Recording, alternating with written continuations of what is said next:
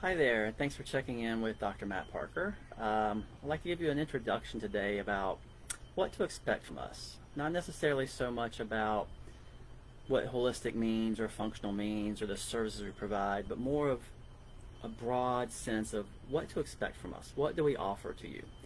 Uh, so I want to talk about just our logo, just our name, hope and healing for people and their pets. That's what we provide. That's what we strive for. That's what we bring to you in the house call visit. Hope is a lot of things. Um, most of our clients, or most of the patients I see, have long-term, ongoing chronic issues, whether it's just skin allergies or skin infections or atopy, um, ear infections, irritable bowel, or just a delicate, just a delicate system, or seizures, or autoimmune disease, back problems, orthopedic problems, just all these things that are always there that we can't seem to get to go away. When you take them to the vet, they give you some medication that suppresses the symptoms, but the problem comes back.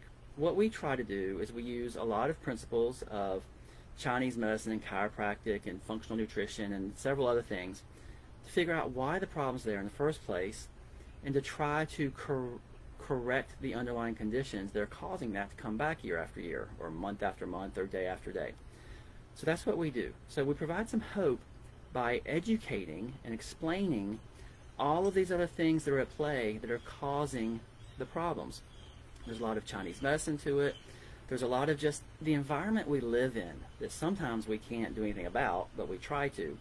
There's the food coloring preservatives in the food, um, the impurities in the water, the the air fresheners and plug-ins in the house, um, a lot of the medicines that the vet provides. A lot of things that are feeding and contributing to the problems your dog's having. So we try to explain those things when we come to your home and we look around and we examine your dog through a lot of different modalities and with a lot of different thought processes during the exam. And we explain to you what we think is causing the problem.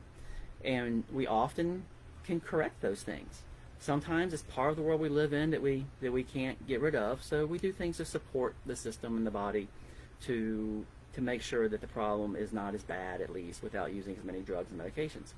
Sometimes things are so bad that we use some drugs temporarily for relief while we're solving the underlying problem. Um, so we're here to educate, to help you understand why your dog's having the problems it's having, dog or cat, cats too. Um, so we're providing hope and healing. We're going to do what we can. We use herbs and acupuncture, nutrition, and chiropractic and laser and a lot of other things for the healing process. Even for, you know, worst case scenario, a terminal cancer when maybe it's too late and we can't fix it.